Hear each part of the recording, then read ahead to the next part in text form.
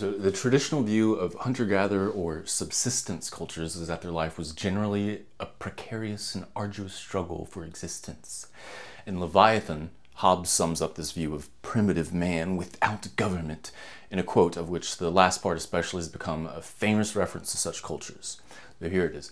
No arts, no letters, no society, and which is worst of all, continual fear and danger of violent death, and the life of man solitary, poor, nasty, brutish, and short, as in 1651.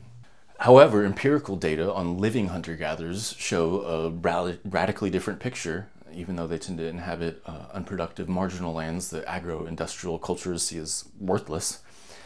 Uh, it should be obvious that our modern culture, though more connected than ever with the internet, is ironically the most lonely ever the more primitive the culture, the less its development, the more socially connected it is.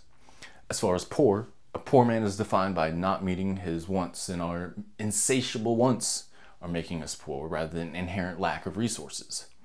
Hunter-gatherers easily met all their wants and needs because they had so little to desire beyond food, family, community, and health.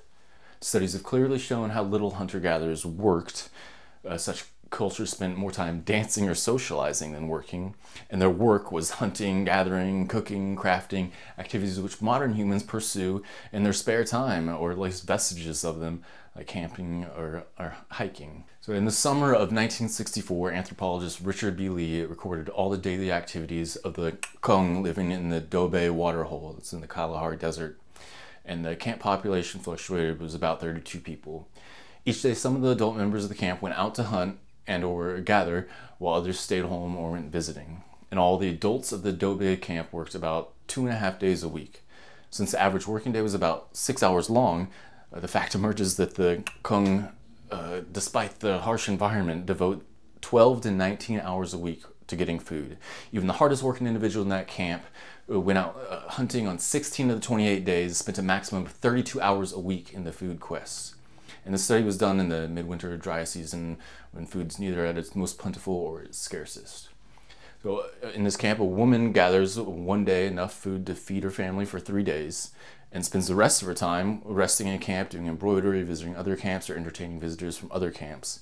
And for each day at home, kitchen routines such as cooking, nut cracking, collecting firewood, fletching, uh, fetching water, they occupy about one to three hours. This work is steady and maintained throughout the year. The hunters tend to work more frequently than women, but their schedule's uneven.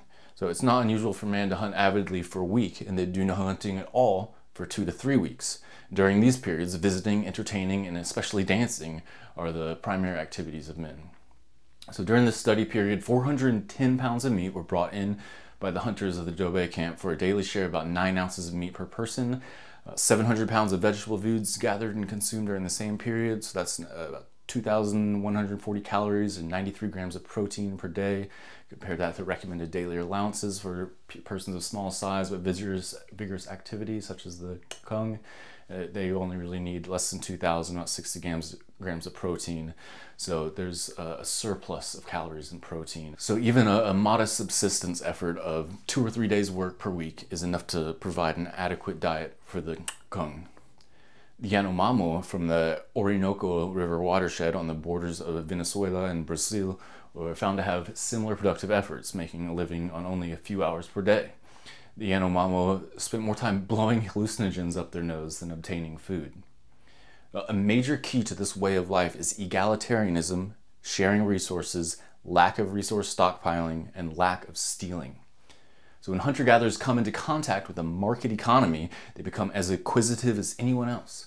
Why they do this may hold the key to sustainable future. The thesis of Flannery in his book The Future Eaters, An Ecological History of Australian Lands and People is that future eating, or consuming resources needed for the future, is characteristic of humans. But environmental factors such as periodic drought caused by El Nino, limited aboriginal population size, and ecological coevolution created social customs that act to conserve scarce natural resources. So affluence can be created in two ways, by producing much or desiring little. Hunter-gatherers are in the latter category, uh, the Zen road to affluence. The idea that their subsistence economy is a dismal, undesirable, and difficult life way is an ethnocentric prejudice, a bias of agro-industrial culture and economists not based on any anthropological uh, research or empirical investigations. Yet this idea continues even to this day. We all learn in economics to compare economies against the baseline or rudimentary subsistence economy, a mere scraping for survival, to compare uh, against a more civilized economy based on stockpiling resources, getting more, spending and trading, with the ultimate idea to possess and consume as much as possible per capita. The fundamental problem with economic theory is utterly ignoring natural resources and environmental degradation caused by development.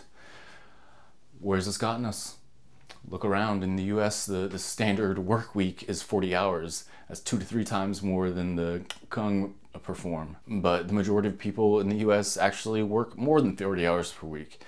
And while hunter gatherers had healthy life satisfaction, community, and exercise inherent in their work, most of us are basically automatons in our jobs and must pursue our life satisfaction, community, and exercise in our spare time. Americans work more and take less vacation than any other country in the world, but the rest of the world, at least in agro-industrial cultures, work comparable hours from around 20 to 50 hours per week, still all more than hunter-gatherers work. Still satisfied with the progress of civilization?